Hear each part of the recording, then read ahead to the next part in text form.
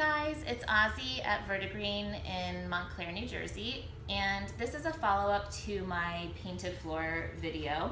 Some of you asked uh, to see an after photo, and the reality is I haven't finished it yet uh, because I'm running my shop and being a mom and doing all those things simultaneously. So I'm just now lacquering, which is my last step. I painted it old white, I stenciled it in graphite, I gave it a really good sanding because I wanted it to be distressed, and today is the sealing day. So to seal chalk paint on floors, we use Annie Sloan's chalk paint lacquer. It is a product that she created specifically for floors. I would not use it anywhere else because it's a lacquer and the wax is really more suitable for furniture but for a painted floor, this matte lacquer is lovely. It wears really well, and um, I've used it with great experience. So first step is to stir really well because it is um, matte, which means there's flattening agents in it. And so you really need to make sure uh, you stir all those flattening agents into your lacquer product. Then I pour it into my paint tray and I add about 10% water to it to thin it out a little bit. Um, this prevents it from getting too cloudy and it just makes it a little easier to manage. I use a sponge roller to roll it on because you don't want any nap leaving any little pricks in your finish.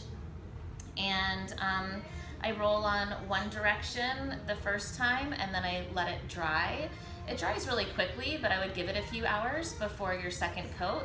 And then I do my second coat in the opposite direction. Um, and I just wanna address something really quickly. A few of you have mentioned that I don't put after photos on my videos, and that's really because when I'm filming a video, it's it's just because I'm like, oh, this would be kind of cool to share. I want to show it, and maybe it's something a customer has asked for, and so I just upload it to YouTube. Um, I'm not really equipped to to be a YouTube tutorial girl. I don't really like being in front of the camera personally, and I I am usually just like focused on the work and getting in the zone and just showing you snippets. And the reason I do post on YouTube is because I find that um, I really just want to inspire people to use these products in a creative way. And if I can give you any tips that make it easier to experiment at home, that's, that's really my ultimate goal. Um, if you are interested in seeing any of my afters, then just uh, follow me on Facebook or on Instagram. I post them both there. It's at Verdigreen Home. So I really appreciate all the feedback though, and um, thanks for watching what I do post.